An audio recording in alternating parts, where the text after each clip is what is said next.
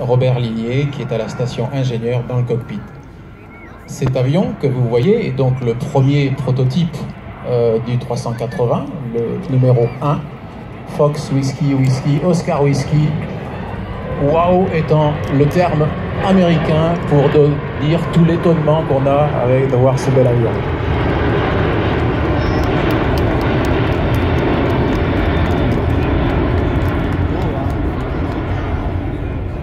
Donc là, vous avez la démonstration classique hein, qui est effectuée par Christophe euh, lorsqu'on fait des démonstrations en vol comme au Salon du Bourget.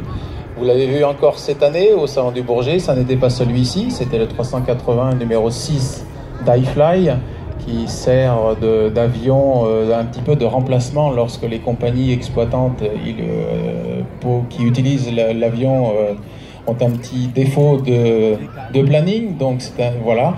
Et celui-ci, donc cet avion a été le premier avion sur lequel nous avons essayé toutes les qualités de vol, les performances ayant été testées sur le deuxième avion qui était le MSN 4.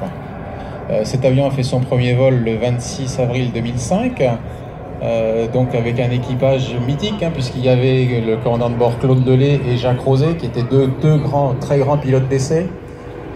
Euh, j'étais au centre, évidemment, et à l'arrière, dans le, dans le fuselage, il y avait Monsieur Fernando Alonso et Monsieur euh, qui était de nationalité allemande, et euh, Jacques notre spécialiste motoriste, et qui maintenant, tout cet équipage étant retraité, puisque je suis le dernier. Voilà.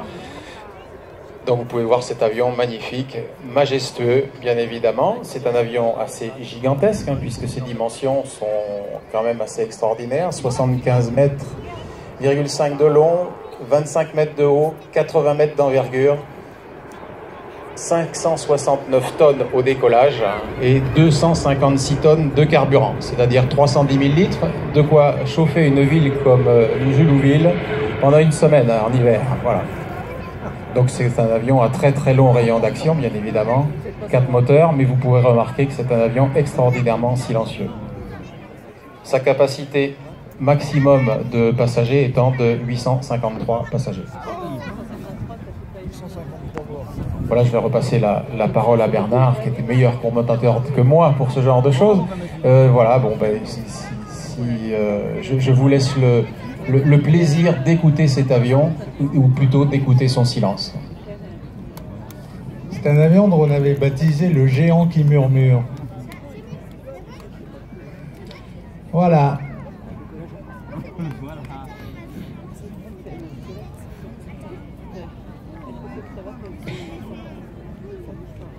Et dire qu'il y a des gens qui disent que les avions doivent être euh, condamnés car ces machines sont néfastes pour l'avenir de l'humanité.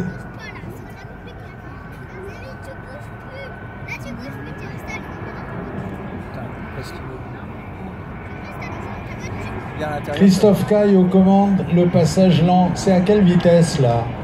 Là on est à peu près aux environs de 105 nœuds. 190 km/h, 200 km/h et l'avion se pilote du bout des doigts.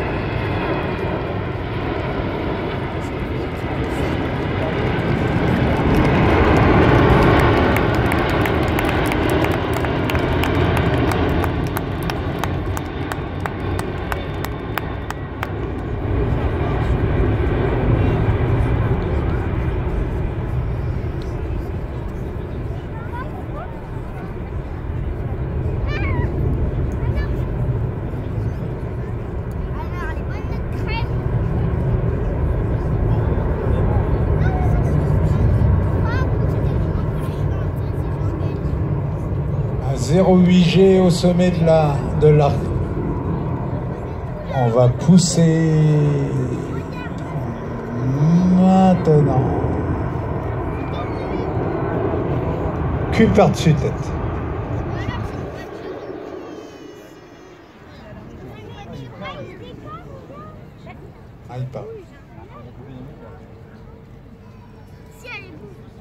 Ça a été une aventure de mettre ça au point.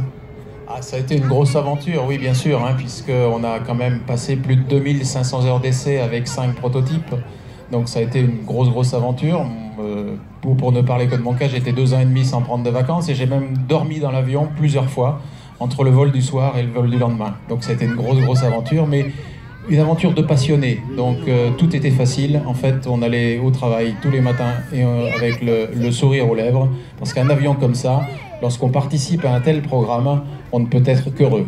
Et on comprend pourquoi les oiseaux chantent. Non, C'est QFD.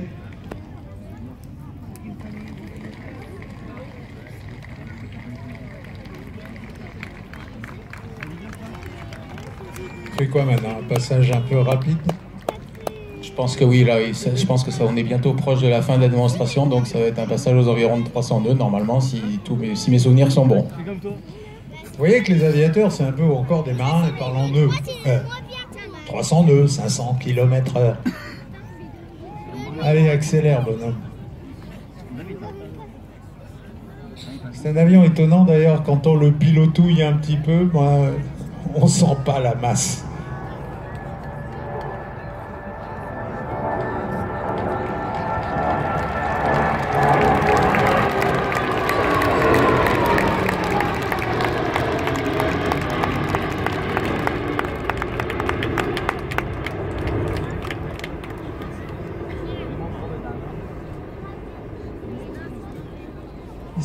Ce qui est amusant, c'est que hier, le pilote qui a posé sur la plage le premier ULM, dans la vie de tous les jours, il pilote ça.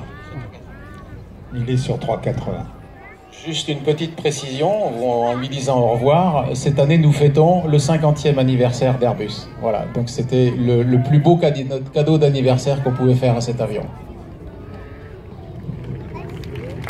Bon, s'il vous plaît, c'est GG à qui ce vol était finalement dédié un peu par la force des choses. Salut, c'est lui.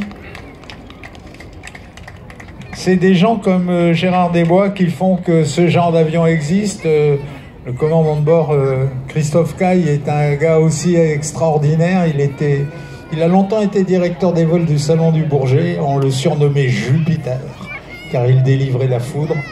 Enfin, il a rarement délivré la foudre, jamais. Mais euh, bon,